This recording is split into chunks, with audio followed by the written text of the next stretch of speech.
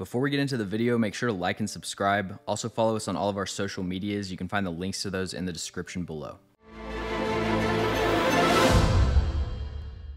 Welcome into episode one of our team preview series. We're going to be starting with the AFC South, and my highest ranked team in this division, coming in at number 11, is the Jacksonville Jaguars. This is a really solid team without much star power, but it's really hard to find major weaknesses on their roster. My biggest strength is going to be quarterback. I think Trevor Lawrence fully broke out over the second half of last season. I have him tied with Justin Herbert at fifth in my quarterback rankings, and I do think at this point he's right outside of that top three or four tier of elite quarterbacks. To take that that next step, he'll just need to continue to develop his playmaking ability outside of structure. Like I said, this team doesn't have a ton of major weaknesses, so I went with wide receiver and cornerback depth. Calvin Ridley, Zay Jones, and Christian Kirk is a solid trio, especially considering who they have throwing them the football. But if one of those guys gets injured, you're looking at Tim Jones, Kevin Austin, Jamal Agnew. I did like Parker Washington in the sixth round, but probably not going to expect him to contribute that much as a rookie. And then at cornerback, Tyson Campbell's a stud. Darious Williams is solid solid. But after that, it's low level backups, and cornerback becomes a major weak spot if someone gets hurt. The biggest question that I have for the Jaguars is how offensive tackle sorts itself out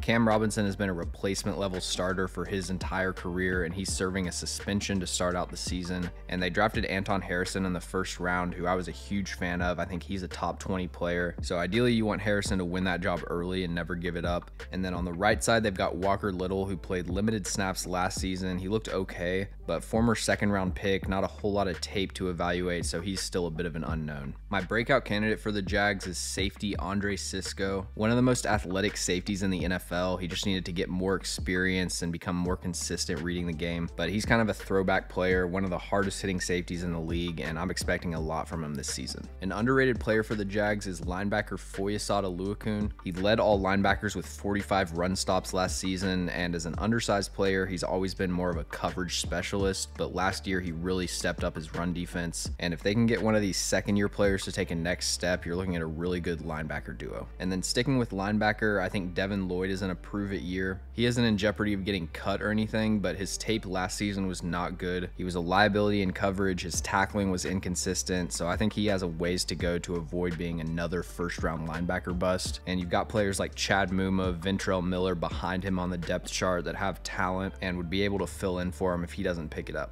My second team in the AFC South and my 21st ranked team overall is the Indianapolis Colts and their biggest strength is the defensive line. They've got DeForest Buckner, who's a top five three technique. Grover Stewart is extremely underrated as a nose tackle, and then they actually have some solid depth with Adebawore as a developmental piece. You've got Taven Bryan, Eric Johnson they took last year as a freak athlete. So defensive line is pretty clearly the strength of this Colts roster. And for their biggest weakness, I have star power. They've got DeForest Buckner and Jonathan Taylor, but outside of that, they don't have a lot of blue chip high end players. And then the biggest question mark for the Colts is offensive line. Braden Smith is as good as it gets at right tackle, but the other four spots have some uncertainties. They've got Will Fries at right guard, who's replacement level at best. Ryan Kelly's had a great career at center, but his last two seasons have been really disappointing, and it kind of seems like he's on the downslope of his career. Quenton Nelson is an all pro guard at his best, but again, the last two seasons, the play's been very inconsistent. He gets beat a lot more often than he used to, so he needs to get fully healthy and return his play to 100%.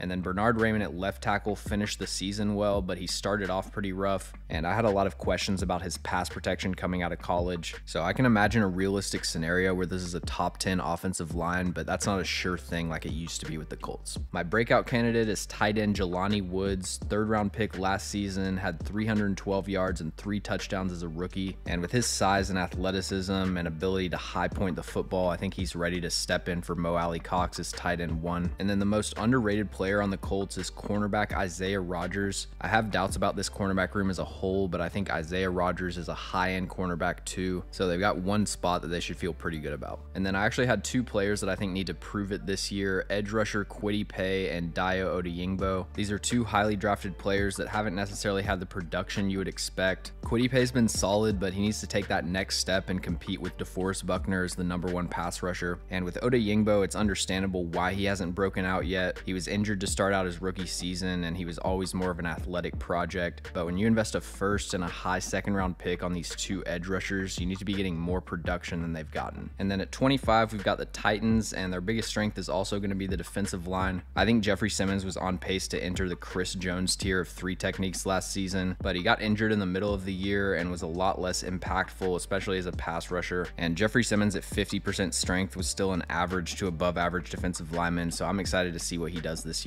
No surprises for the biggest weakness, but you've got to say receiver for the Titans. Treylon Burks will get to, but they need him to take a huge step forward. Kyle Phillips was getting open against everyone that tried to cover him last season, but it's still such a small sample size, and he needs to show that he can stay healthy. Nick Westbrook-Ikhine is a solid backup receiver. He knows where he's supposed to be. He plays special teams, but he just can't get open against man coverage, so he's a player I would be trying to get off the field. Racey McMath has the traits, but he hasn't really shown anything in the NFL or in college. Colton Dow is a seventh round rookie, and Chris Moore actually would have been their most productive receiver last year. But this is a pretty underwhelming group, and I think it's going to be the main thing that holds this offense back. And then offensive line is the biggest question for the Titans. NPF is the only returning starter that's playing the same position, and his play was all over the place last year. Daniel Brunskill is a nice player because of his positional versatility, but I'm not sure that he was actually great at any position on the offensive line. It feels like we're kind of just penciling him in as a quality starter, but I wasn't that impressed with his tape. They've got Aaron Brewer moving from guard to center, and he had a lot of highlight blocks last season, but so many blown blocks that resulted in negative plays. Peter Skoronski at left guard, you probably feel the best about, but he's still a rookie, and it's not unheard of for a quote unquote pro ready player to struggle early on. And then at left tackle, you've got Andre Dillard, who is solid in a limited handful of snaps, and I think he'll be okay, but it's hard for me to project him being a high quality starter. So one through five, there isn't anyone that I'm sure is going to be good. Chances are one or two of these guys is going to pan out, but it's still hard to project them having a great offensive line next year. My breakout candidate is wide receiver Treylon Burks, and the Titans really need him to become a true wide receiver one. His physicality and athleticism absolutely translated to the NFL. He flashed the ability to high point the ball and dominate people at the catch point, although his hands do need to become more consistent. He had some focus drops down the stretch last year. As long as he's healthy, I feel confident that Treylon Burks will at least be a wide receiver two, but he's got to show that he can win on more than just go routes and contested catches. Third and six, press man coverage against an elite cornerback. Can you shake him at the line of scrimmage and then snap off a quick curl route and get separation?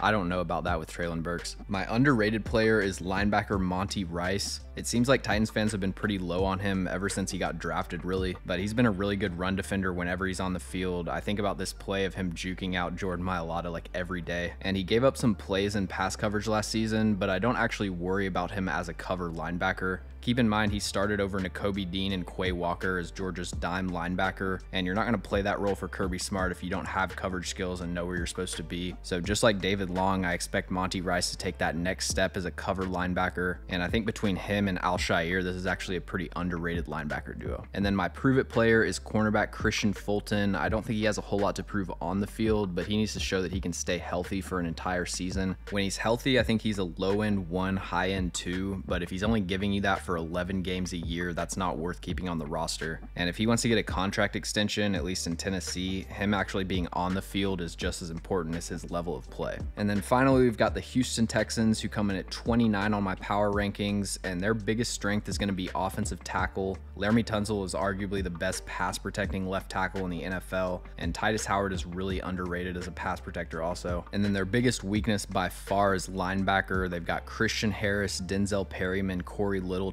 They're really banking on Christian Harris taking a major step forward in year two. And my question mark for the Texans is going to be Derek Stingley Jr. I easily could have put him as a breakout candidate, but if this is going to be a top half of the league defense, I think they really need Derek Stingley Jr. to emerge as a shutdown corner. And I don't think his rookie season was bad enough where you should be panicking, but he was objectively one of the worst rookie corners last season. And for this defense to have much success, I think they're going to have to be led by the secondary. My breakout candidate is running back Dameon Pierce. Still don't know how he fell to the Kenyon Green is absolutely an approve it year. I thought taking him 15th overall was a reach, and that proved to be true. He had a PFF pass blocking grade of 27 last year, which was the fourth worst among NFL offensive linemen, 47 pressures and four sacks allowed. I remember watching defensive linemen last year, and if someone played the Texans, they were pretty much guaranteed to have at least one or two dominant reps against Kenyon Green. So you don't need him to be an all pro, but if CJ Stroud's consistently getting pressured up the middle, I don't think he's going to have a lot of success. Thanks for watching. If you enjoy the video, make sure to like and subscribe.